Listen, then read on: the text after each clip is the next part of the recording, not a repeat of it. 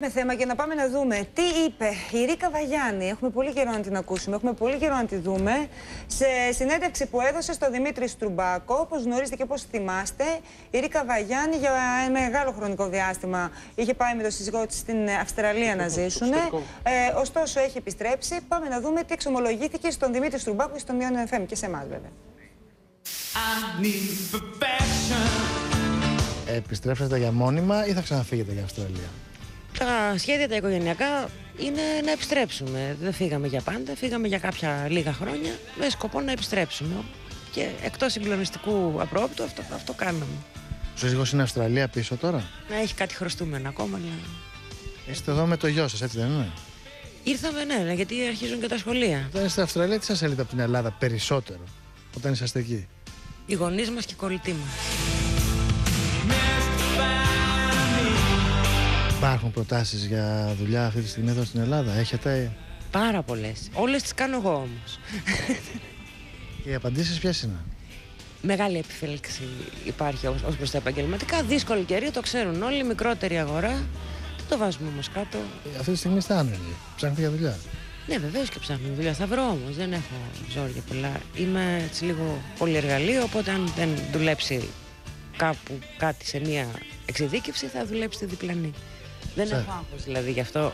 Μιλάμε τώρα και ό,τι θέλουμε. Είχαμε την τύχη και τη χαρά να ξεκινήσουμε με πλάνα από το συγκλονιστικά πανέμορφο και αγαπημένο Λαύριο. Η Ρίκα Ιβαγιάννη δεν έχει θέση στην τηλεόραση. Τώρα ήρθα να πηγαίνω να διώχνω τον κόσμο από τις θέσεις τους, να παίρνω εγώ τις δικές του καρέκλες. Περίμενα να πάρουμε μια ανάσα. Όλα θα φτιάξουν. Μη στεναχωριέσαι.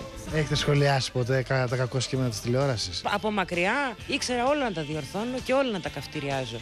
Όταν τα είδα από μέσα, έμαθα και τι πάει να πει καθημερινή ζωντανή τηλεοπτική τριβή. Έγινα, δηλαδή, έπαθα και έμαθα. Σας λείπει η τηλεόραση; Ε, λίγο ο πυρετός, το τρέξιμο που σε κάνουν ωραία, που σε περιποιούνται. Ε, η συντροφιά που αποκτάς από ανθρώπους με τους οποίους μοιράζεσαι πυρετώδεις καταστάσεις μου λείπει, μου λείπει λίγο. Αν ξανακάνετε τηλεόραση, τι ακριβώς θα θέλατε να κάνετε, δηλαδή τι, σε τι ύφος θα ήταν η εκπομπή που θα θέλατε; Ε, λίγο να ταιριάζει με την ηλικία μου, να μην χρειαστεί να μπεμπεδίσω ή να γεράσω πριν την ώρα μου.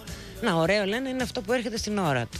Τι μου λείπει τώρα εμένα τηλεοπτικά, λίγο η αληθινή μας ζωή. Χρήσιμο στον τηλεθεατή, κάτι που να κάνει την ώρα να περνάει ευχάριστα να μην του κάνει την ψυχή μαύρη και να μπορώ και εγώ βέβαια να το υπηρετήσω. Μπορώ να περιγράψω αύριο έναν αγώνα ποδοσφαίρου με τη φόντα. Δεν μπορώ να πω ειδήσεις. Με τη φόντα πάλι. Οικονομικά πώς τα βγάζετε πέρα; Πολύ, πολύ μαζεμένα. Αλλά θα είναι μεγάλη υποκρισία να αρχίσω να κλαίγομαι. Υπάρχουν τα βασικά, τα πολύ βασικά και θεμελιώδη είναι ακόμα στη θέση τους. Και όσο υπάρχουν αυτά, δεν θα με ακούσουν να γκρινιάζω ποτέ. Τώρα, βέβαια, σαν κορίτσια μπορεί να κάνουμε και το έξτρα λούσο κάποια στιγμή. Μπορεί να το κρύψουμε και λίγο από τον άντρα. Να πούμε ότι ήταν πιο φουσκωμένος ο λογαριασμό στο σούπερ μάρκετ. Μικρό πράγματα δηλαδή, γυναικεία. Από εκεί και πέρα η ζωή σε προσγειώνει. Και δεν ήμουν και από τους ανθρώπους που απλώνουν ποτέ πολύ περισσότερο από ό,τι φτάνει το παπλωμά τους.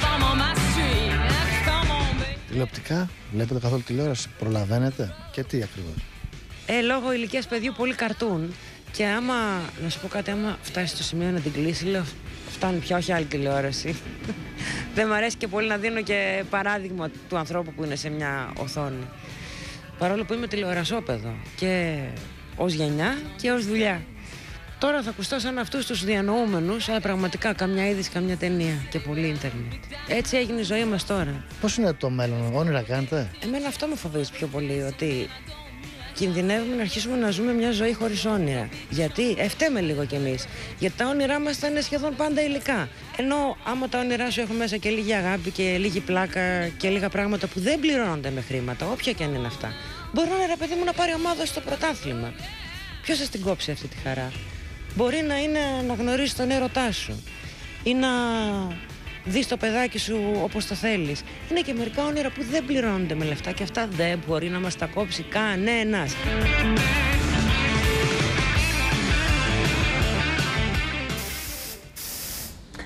Μ' αρέσει πάρα πολύ να την ακούω να μιλάει η Ρίκα Βαγιάννη. Μίλησε στο Δημήτρη Στουρμπάκο και στον Ιόνιο FM.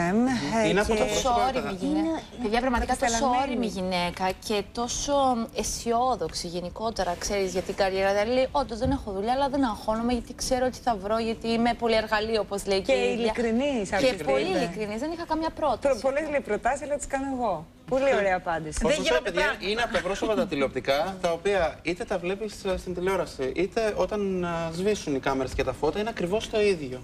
Ε, Την είχα γνωρίσει αρκετά κατά τη διάρκεια που είχε παρουσιάσει τον α, διαγωνισμό του Eurovision. Να. Και πραγματικά είναι από τις γυναίκες που έχουν γευτεί τεράστιες επιτυχίες ε, στην α, καριέρα της τηλεοπτική. Έχει κάνει πάρα πολλά πράγματα. Αλλά πάντα ήταν α, χαμηλών τόνων και πάντα έβλεπε την α, τηλεόραση σαν τη δουλειά της και το χόμπι της ταυτόχρονα.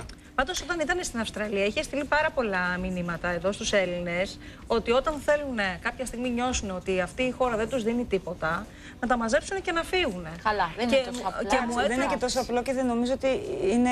ε, Πολλοί νομίζω ότι φτάνουν σε αυτό το σημείο, αλλά καταλαβαίνεις ότι νομίζω ότι πρέπει να είναι και το τελευταίο που θα πρέπει να το κάνει τελευταίο κάποιος. που σκέφτεσαι. Αλλά όμως τους είχε παροτρύνει με ωραίο τρόπο ότι μη φοβάστε, η ζωή είναι δική σας. Πάρτε, πάρτε την από τα μαλλιά και αποφασίστε τι θέλετε να κάνετε. Και μου κάνει εντύπωση πώ επέστρεψε. Αυτό ήταν εντυπωσιακό. Μπορεί, δεν ξέρεις για ποιο λόγο μπορεί να είχαν πάει. Μπορεί να ολοκληρώθηκε ο, ο στόχος ή η αποστολή, εν πάση περιπτώσει, που είχαν στην Αυστραλία. Πάμε να αλλάξουμε.